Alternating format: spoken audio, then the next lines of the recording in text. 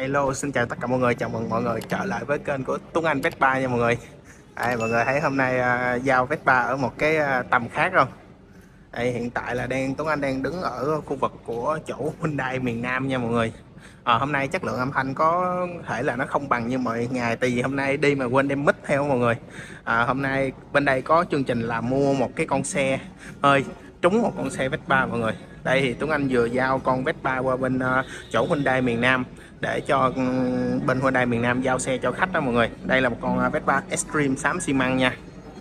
Đây, cũng là giao Vespa nhưng mà nó lạ lắm.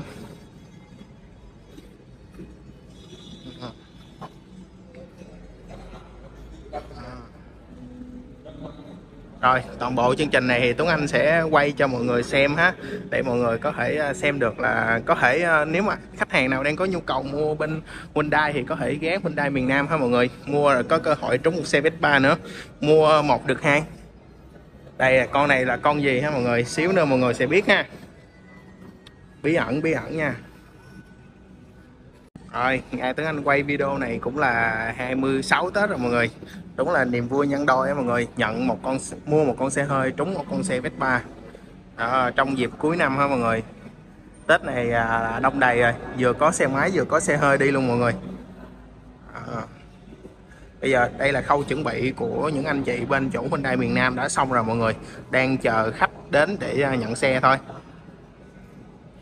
Nhìn hoành tráng quá ha mọi người.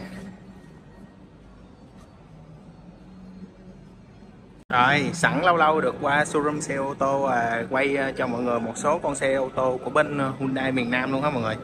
Thì ờ, Tuấn Anh thì không có rành ô tô lắm mọi người, tại vì à, chưa có tiền mua nên là cũng không có tìm hiểu nhiều, chỉ biết một số mẫu thôi. Thì đây là con Hyundai Accent ha mọi người. À, bản gì Tuấn Anh cũng không biết đâu. à, chỉ biết đây là con Hyundai Accent ha, màu đỏ nè, màu sơn của ô tô nhìn nó đẹp quá ha mọi người. Công nghệ sơn của ô tô với công nghệ sơn của Vespa hầu như nó cũng giống nhau mọi người. Nó cũng sơn lên cái ờ, cái mặt phẳng bằng kim loại á, nên là nhìn nó khá là bóng ha và đẹp. Rồi bên đây có một con ờ, Hyundai i10 nè mọi người. Con này thì ờ, huyền thoại quá rồi. Con này thì nhiều anh em dịch vụ hay mấy anh chạy dịch vụ sử dụng lắm ha. Đây, con này là màu màu này màu gì ta? Chắc màu xám xám bạc đó. mình thì không có rành xe cho mọi người quay cho mọi người xem thôi. Đó, i10 thì Tuấn Anh thấy nó có cái phần đèn sau nè mọi người cái đèn hậu nhìn đẹp ha. Đó, đây là con i brand i10 ha. Con này như là mạnh hơn i8 của BMW mọi người tại này tới i10 luôn mà. i8 là không có cửa đâu. Ừ, ừ. Đây bên đây là có niềm ao ước của Tuấn Anh nè mọi người. Này là Elantra ha mọi người phiên bản mới nè. Elantra này phiên bản mới nha màu đỏ nha. Không tiếng Anh thì thích màu trắng hơn. Mình không có hợp màu đỏ mình không có đi màu đỏ được. Con này màu đỏ ha. Khá đẹp ha mọi người. Có thể là quay hơi xấu nha mọi người. Do mình không có làm bên uh, ô tô nên là mình quay không biết cái góc nào đẹp của nó. À, Tuấn Anh thấy cái dãy đèn hậu đẹp ha mọi người. À, kéo nguyên một đường qua luôn ha. Rất là đẹp nha. À, vì à, cái video này Tuấn Anh không có đem mic theo mọi người nên là có thể âm thanh nó hơi bị khó nghe ha. Mọi người thông cảm với Tuấn Anh ha. Ờ, con này là Tuấn Anh thích lắm mọi người. Mà không biết đến bao giờ cũng có tiền mua ha. Trong khoang nội thất của nó nè. À, nhìn xịn sò ha. Quá là đẹp luôn. Đây Elantra. Rồi mọi người đây cũng là một mẫu mới nhà Hyundai nha. Tuấn Anh không biết tên mới vừa đi hỏi tên luôn không mọi người? Tarancer nhìn uh, ngộ nghĩnh ha. Đây nó có thiết kế có một cái dãy led ở phía trước nè mọi người. Có một dãy led ở phía trước nè. Nhìn như xe ở trong mấy bộ phim uh, đó mọi người. À, đó, con này màu đen nha. Nghe thấy dạo này thấy con này um, cũng có nhiều người lựa chọn đi đó mọi người. Bảy chỗ khá là rộng ha mọi người. Rộng lắm luôn á. Tướng Anh thấy trong khoang nội thất nó rất là rộng. Rồi đây có cũng có một cái dãy led sau ha hình như là năm nay là Hyundai nó thiết kế theo cái dạng là có dãy led trước sau vậy mọi người. Nhìn cái con xe nó thể thao hơn ha à, để mở vô khoang nội thất coi thử ha. Thấy khoang nội thất rộng lắm. Ồ khoang nội thất rộng ghê mọi người. Cái hàng ghế cuối cái hàng ghế thứ ba của người ngồi của cái những người ngồi sau này cũng khá là rộng ha ngồi vậy thì dễ chịu, mình đi xa cũng dễ hơn á. Thì Tuấn Anh đang cảm nhận của một người à, hay ngồi xe thôi mọi người. Chứ còn về bán xe này Tuấn Anh không có bán nha. Nhưng mà nếu mà ai mua xe thì cứ liên hệ vào Hyundai miền Nam ha mọi người.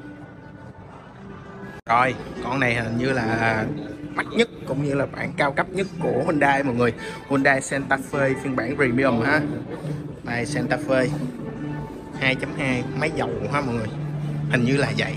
Mình cũng không rành này là màu cũng màu đỏ nhưng mà đỏ đô ha mọi người. Vô khoang nội thất coi thử ha. Wow rộng ha mọi người. Rộng ghê ha. Này chỗ của người ngồi trước của người lái nè. Người uh, ngồi kế bên. Nhìn nó xịn sò quá ha. Mấy cái da của con Santa Fe này nó nhìn nó cũng khác so với những cái con khác ha. Cái da à, à, cái này nội thất nó màu nâu ha mọi người. Đẹp ha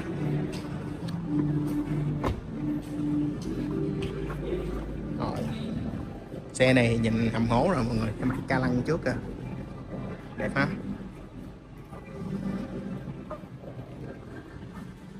Đó đó là dẫn mọi người đi ờ, tham quan một vòng Hyundai miền Nam ha mọi người. Toàn là xe xịn sò không á. Toàn là ước mơ của biết bao nhiêu người ở đây. Đây là chân dung của anh khách hàng mà mua Vespa được tặng Tucson nha mọi người à, còn ở dưới là con Hyundai Tucson nha. Màu à, xanh. Và chống một con à, Vespa màu xám xi măng nha mọi người. Ở đây là bạn à, bán hàng của à, Hyundai miền Nam đang trao đổi với khách nha. Đó. bữa nay là có người thay Tuấn Anh hướng dẫn sử dụng luôn rồi mọi người. À, hồi nãy là Tuấn Anh à, hướng dẫn cho chị này xong rồi giờ chị này hướng dẫn lại cho khách sử dụng xe. À rồi xíu là Tuấn Anh sẽ à, chở cái con à, Vespa này trên con bán tải quen thuộc giao về à, hình như là thủ dòng một Bình Dương cho anh khách này luôn á mọi người. Phụ tận tình luôn tới cùng luôn mọi người. Đây. cũng là giao Vespa nhưng mà bữa nay nhìn nó lạ quá ha mọi người nhìn nó hoành tráng quá ha. Đó, đây là uh, đang hướng dẫn khách sử dụng xe nha. Kế bên là có em uh, túc xanh nha mọi người rất đẹp ha rồi, vậy là giờ bàn giao cho khách xong cái con túc Sình với con Vespa rồi hả mọi người? Rồi bây giờ Tuấn Anh sẽ chở xe về giao cho khách ở Đồng Nai nha. Xin chào, tạm biệt mọi người.